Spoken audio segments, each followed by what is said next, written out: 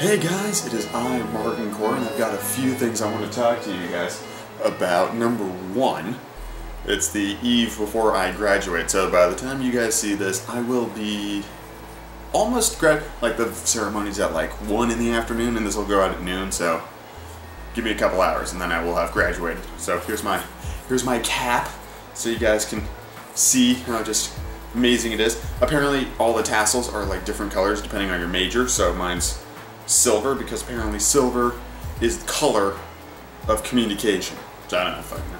But um, for, first thing I want to talk to you guys about is this whole one size fits all thing is bullshit. Cause check this out. Hold on.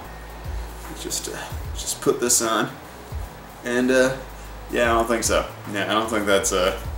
It's a snug fit. It feels like if this was any tighter, it would like off the top of my head. Like there's, I'm surprised it stays on. So yeah, also, nobody looks good in these. Not a soul. This is the dumbest hat in the universe because it's cardboard. Fuck this hat. So, so there's that.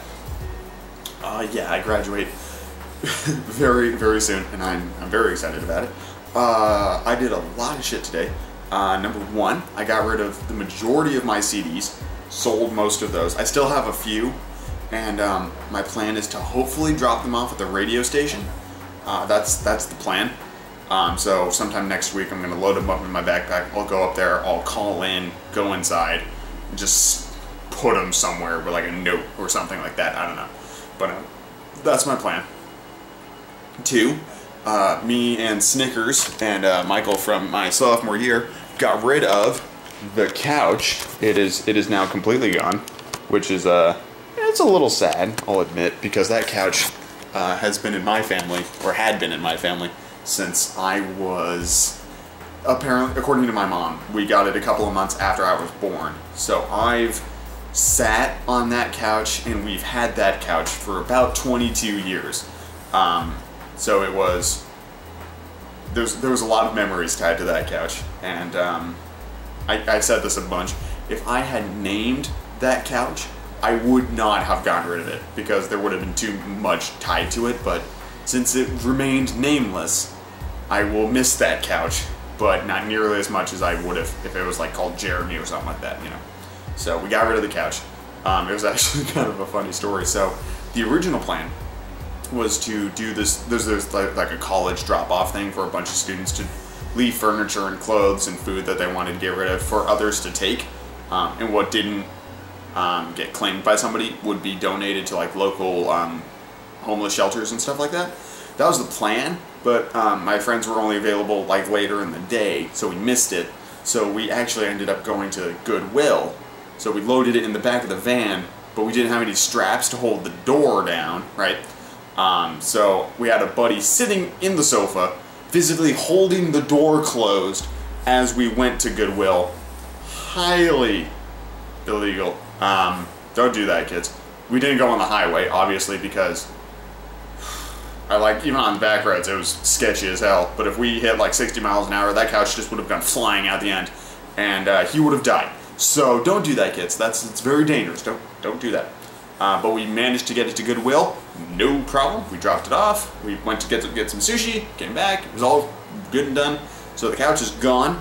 Um, what's funny to me, uh, personally, since now it's out of my hands, um, is when we dropped it off, the guy was like, "Are there any rips in this couch?"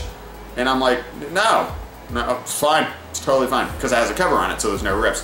Uh, once that cover cover comes off, uh, they'll actually find that yeah, there's lots of rips. Um, there's a massive one along the back. One of the sofas is just split like right down the middle. Both armrests are ripped open. That's what happens when you have a couch for 22 years. It gets it gets damaged. So someone will like it. And as long as they keep the cover on, it looks fucking fine. So it's their problem now. so we did that. Um, that's all done and done. Uh, I found a new game to do for a series, and I'm already loving it to pieces.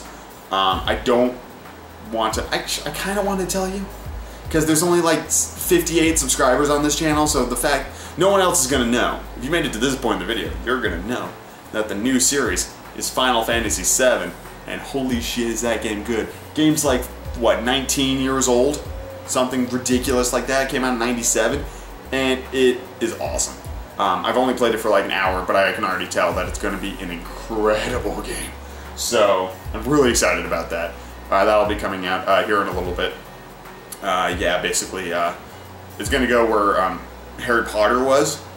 Uh, and then once I get my hands on Harry Potter Part 2, that'll replace Overwatch, and then we'll do that, and then we'll do something else after that. Probably not Overwatch again. Um, maybe occasionally, um, but I, I, I, just do better in that game when I'm not recording. But it's a good placeholder uh, series for right now, so we'll keep that around. And uh, the final thing I want to talk to you guys about, um, because next week it's E3, so there's going to be a lot of video game news. But the final thing I want to talk to you guys about is a show that came on Netflix, uh, in classic Netflix blam, here it is, style, um, that I was aware of, but didn't know how incredible it would truly be until I finally saw the first episode. And I gotta tell you, that Voltron Legendary Defenders is incredible. It is so fucking good. Holy shit.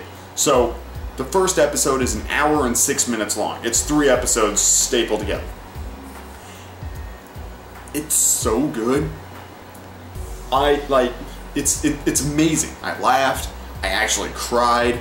Not because there was anything sad, but just when there was like this reveal of one of the lions, and I'm just like, oh, tears. Just, it's so good. It's done by the same studio that did the majority of the Legend of Korra episodes, Studio Mir. Um, the voice acting is incredible, the music is great. It's five fucking giant lion robots forming a giant fucking lion robot man defending the, like, it's great, okay? here's like I've only seen episode one.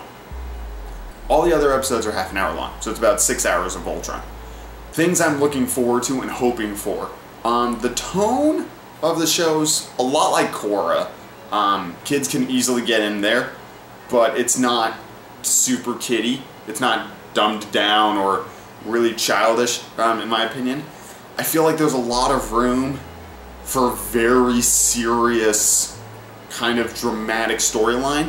Um, and I really hope we get into some more intense kind of things. I mean, the basis, like, save the universe or everyone dies, you know, is, you know, there's, that's a serious kind of plot, you know? The death of the universe, it's a big topic, but there's a lot of humor to keep it light, and I, I want, um, what I really want is Evangelion style interpersonal relationship drama. That's what I want. I want this to really focus on the characters. Um, so that's my hope, is that the, the, the relationship between the characters goes beyond um, this kind of two-dimensional kind of thing that's going on now. All the characters are done really well so far, and they've interacted in pretty um, standard kind of cookie-cutter formatting ways. So they don't necessarily need to break out of that mold, but we just need to go deeper into the characters, deeper into the backgrounds, which is standard TV style in terms of like going forward. So that's kind of what I'm hoping for. Given that it's only 11 episodes long, I'd be willing to bet that it's most likely going to focus on an overarching season villain versus kind of slice of life singular episodes with villains but I think it's going to be like generals and like lower tier um, people of the main villain before we get to the final fight in the finale, which I'm kind of hoping is more than half an hour long. Um, so far the pacing's been really good, um, but they did have an hour, so something like that, I don't know. It, you know, I will know more once I finish the show. I don't think we're going to do that tonight because I do graduate tomorrow. Um, and I have to be up in like less than eight hours, but I'm definitely going to watch the next one after I'm done talking to you guys. Um, but so far, it's superb. Like, the first, like, if this holds up, this is going to jump straight into like my top five all-time favorite animated shows. It's it's incredibly well done. I, I love it. I love Voltron. Um, it's so good. I can't wait for season two, and I'm not even knowing season one yet. But um, yeah, it's right up there next to Korra and Avatar. Characters are great. It looks exactly like Korra, so I love the animation style. Um, and it every now and then it does actually pretty pretty. Uh, uh, um, it was much more common towards the end of the first episode are the classic like five people reaction shots, or it'll be like, hey, how's it going? Pretty good, how are you doing? Shut up, stop talking, we gotta fight the dude, I'm tired. And they just like pop in. It's classic animation style for what Voltron used to be. So it's Voltron for a new generation, and it is awesome. If you have Netflix, which, to be perfectly honest, there's so much great content on Netflix, you're really doing yourself a disservice not having it. I know it's a couple of dollars a month, but for fuck's sake, Voltron is worth every fucking penny. Because if I have to say the statement, five giant lion mech suits who form a giant fucking robot dude that defends the universe.